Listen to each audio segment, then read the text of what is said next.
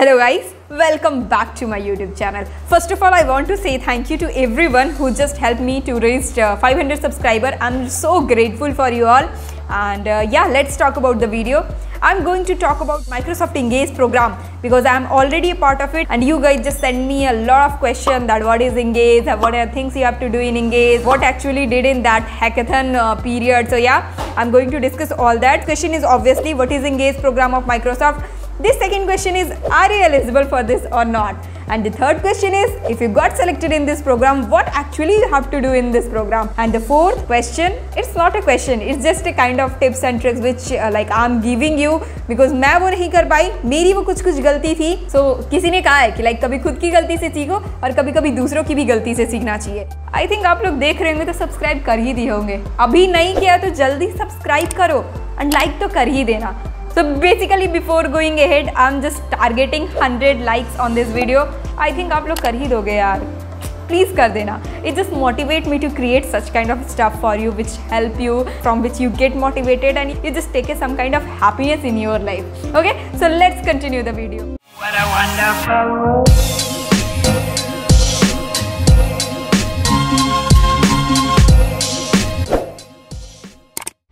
First question. What is Microsoft Engage program? So, Microsoft Engage is a kind of knowledge exchange program. वहाँ बहुत कुछ सीख रहे होगे।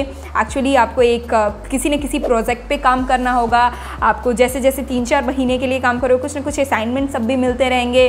So yeah it's a kind of hackathon in which you are learning a lot of things from Microsoft people so yes guys let's talk about the eligibility criteria so Engage program पहले तो बस second year के लिए होता था, लेकिन इस बार से माइक्रोसॉफ्ट ने इस इंगेज प्रोग्राम को फोर्थ ईयर के लिए भी एक्सटेंड कर दिया है। अगर आप सेकेंड ईयर में हो अगर आप इंगेज प्रोग्राम के थ्रू माइक्रोसॉफ्ट में जाते हो देन आपको इंटर्नशिप करने का मौका मिलता है। और अगर आप फोर्थ ईयर में हो मैंने जो फोर्थ ईयर का साइट उस पर पढ़ा था तो उनको लाइक डायरेक्ट एसडी का ऑफ़र मिलता है। देन ये program for second year as well as for fourth year दोनों ही लोगों के लिए और इसकी ओपनिंग्स कब स्टार्ट होती है?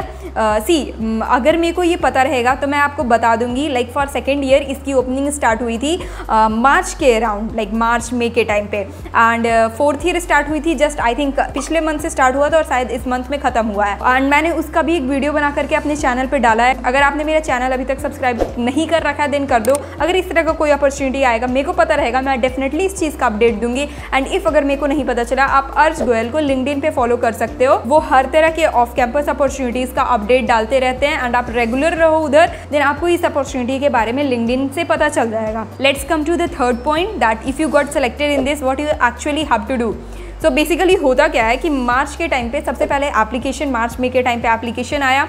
उसके बाद लाइक आपने वो फिल किया आपको अपना रिज्यूमे देना होता है। एंड उसके बाद अपने सीनियर से पूछा था उन्होंने मेरे को बताया था कि like searching sorting and time complexity related stuff आते हैं। सो so, बेसिकली ये तो प्रिपेयर करके जाना ही सो so, मैंने ये प्रिपेयर किया। Um, जब मैं पेपर देने गई तो चीज़ें only searching sorting and time complexity तक लिमिटेड नहीं थी। प्रायोरिटी क्यूज़ के भी क्वेश्चन थे। एंड कपल ऑफ़ और भी बहुत सारे डिफरेंट डिफरेंट डीएसए के टॉपिक के क्वेश्चन थे। डीएसए से बाहर नहीं था। सो so, या आप ये सब के लिए भी प्रिपेयर होकर के जाना लाइक डी तो बेसिक क्लियर ही करके रखना। इसके बाद जब पेपर हो जाता है देन उसके बाद रिज़ल्ट आता है, वो आपके मेल पे आ जाएगा। मेरे भी मेल पे आया था। ये आने के बाद हम लोग का माइक्रोसॉफ्ट पीपल के साथ लाइक एक ऐसे सेशन होता है। उस सेशन में हम लोगों को बताया जाता है कि एक्चुअली हम लोग को किस चीज़ पे काम करना है, कौन से प्रोजेक्ट पे काम करना है। सो जो इस ईयर का थीम था, वो था हम लोगों को एक माइक्रोसॉफ्ट टीम का एक क्लोन बनाना था। एंड लाइक पहले उन लोगों ने इस चीज़ के बारे में बताया, हम लोग को टाइम दिया समझने का, चीज़ें सर्च करके उसको पढ़ने का। एंड ये सब समझाने के लिए काफ़ी सारे सेशंस होते रहते हैं आपके माइक्रोसॉफ्ट के द्वारा ही तो वो आपको ये सब चीज़ बताते रहते हैं और बेटर होगा जिस दिन मेल आए और आपको उसी दिन पता चल जाता है कि आपको कौन से प्रोजेक्ट पे काम करना है। तो आप स्टार्टिंग से ही लग जाओ, क्योंकि जिस समय हम दे रहे थे, उस समय मेरे प्रोजेक्ट का एक क्राइटेरिया था कि लाइक एट द एंड जब प्रोजेक्ट का इवेल्युएशन होगा तो जिन लोगों ने जितना ज़्यादा नंबर ऑफ़ उस ऐप के लिए फीचर बनाया होगा, उनकी लाइक प्रायोरिटीज़ हाई होगी इंगेज से सेलेक्ट होने की। लाइक क्योंकि इंगेज के थ्रू बहुत लोगों को डायरेक्ट इंटर्नशिप भी मिलती है विदाउट एनी इंटरव्यू और एंड बहुत लोगों को इंटरव्यू के फ़ेज़ से भी गुजरना होता है ओके सो अगर आप ये प्रोजेक्ट पहले से स्टार्ट कर दोगे तो आपके पास अदर लोगों के कंपैरिजन में ज़्यादा टाइम होगा, ताकि आप चीज़ें एक्सप्लोर कर सको और अपने प्रोजेक्ट को और बेटर कर सको। इसके बाद आपको मेंटर असाइन किया जाता है। दो या एक मेंटर होते हैं एंड वो सबसे अपडेट लेते रहते हैं। सबसे पहले वो आपसे आएँगे, आपसे पूछेंगे, आपको अपने प्रोजेक्ट के बारे में बताइए, आप क्या क्या फीचर बनाने वाले हैं, उसके बारे में बताइए। वो आपसे ये सारी जानकारी लेंगे और रेगुलर ही आपको उनको अपना अपडेट देते रहना होगा। रेगुलर उनके साथ मीटिंग होगी वीकली मीटिंग होगी कभी कभी स्पेसिफिक आपको एक मेंटर साइन होगा जो आकर के आपके पूरे प्रोजेक्ट के बारे में जानेगा, सब कुछ उसका एक एक स्पेसिफिकेशन पूछेगा। तो आप जितना ज़्यादा इंटरेक्टिव मेंटर के साथ रहोगे ड्यूरिंग इंगेज प्रोग्राम उतना ही ज़्यादा आपके लिए फ्रूटफुल होगा, क्योंकि at the end project matter करता है बट उसके साथ साथ जो मेंटर रिव्यू देकर जाता है वो सबसे ज़्यादा मैटर करता है क्योंकि उसी के बेस पे डिसाइड होता है कि आपका लाइक आगे फर्दर इंटरव्यू राउंड होने वाला है या नहीं या फिर आपको डायरेक्ट इंटर्नशिप मिलने वाला है। सो so, अगर आप इस प्रोग्राम के लिए सेलेक्ट हुए हो अगर आपको कोई मेंटर साइन हुआ है देन आप फॉर ग्रांटेड मत लेना। जब भी कभी मीटिंग हो वोकल रहना उसमें मीटिंग्स में कभी ऐसे साइलेंस क्रिएट मत होने देना। मैंने ये गलती की थी लाइक मैं उतना ज़्यादा वोकल नहीं थी मैं उतना ज़्यादा नहीं बोलती थी। मेरे को बस खुद काम से काम रखना मैं जाकर मेंटर्स को अपडेट भी नहीं करती थी। I think this is one of my mistake लेकिन जब आप कर रहे हो, मेरे को भी सीनियर ने बताया था बट मैंने फॉलो नहीं किया। ये हो सके तो फॉलो करना। आप जिस भी ऐप पे काम करो, आप जाके अपने मेंटर्स को अपडेट देना, ये इस इस चीज़ पे काम किया। अगर आपको कुछ प्रॉब्लम आए देना आप जाकर के पूछना। जब उनके साथ मीटिंग्स हो पर्सनल मीटिंग हो ग्रुप मीटिंग हो, आप हमेशा वॉकल रहना। ये सब चीज़ें बहुत ही प्लस पॉइंट होती है। तो या उसके बाद फिर माइक्रोसॉफ्ट का सेशन चलते रहता है असाइनमेंट्स मिलते रहता है, उसमें आपको कुछ ना कुछ असाइनमेंट्स करते रहना होता है। अगर आपको कोई डाउट ये सब आता है, उसके लिए आप मेंटर से साइन तो ऑलरेडी आपको मैंने बता ही दिया, वो आपके डाउट्स भी सॉल्व करते हैं। कि लाइक